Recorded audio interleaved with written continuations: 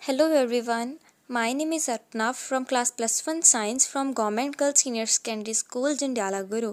Today I am going to verify distributive law for three given non-empty sets A, B and C that is A union B intersection C equals to A union B intersection A union C. Objective to verify distributive law of three given non-empty sets A, B and C that is A union B intersection C equals to A union B intersection A union C. Material required hardboard, white thick sheets of paper, pencils, color, etc. Method of construction Cut 5 rectangular strips from a sheet of paper and paste them on the hardboard in such a way that the three of the rectangles are in horizontal line and two of the remaining rectangles are also placed horizontal in a line just below the three rectangles.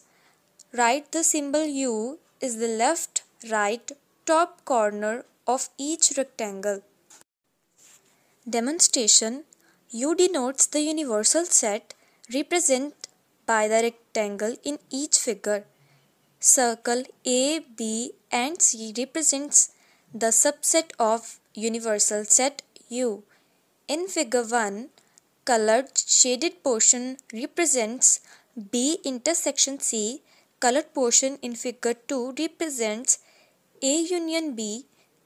Figure 3 represents A union C.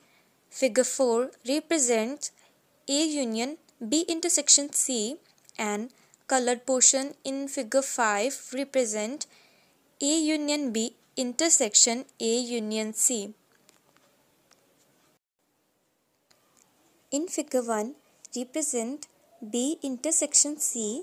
In figure 2 represent A union B. In figure 3 represent A union C. In figure 4 represent A union B intersection C in figure 5 represent A union B intersection A union C.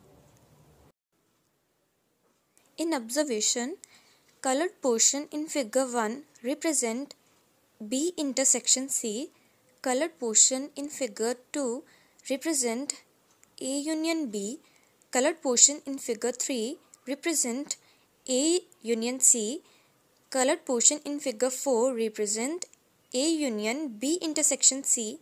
Colored portion in figure 5 represent A union B intersection A union C. The common colored portion in figure 4 and figure 5 are equal. So, A union B intersection C equals to A union B intersection A union C. Thus, the distributive law is verified. Thank you.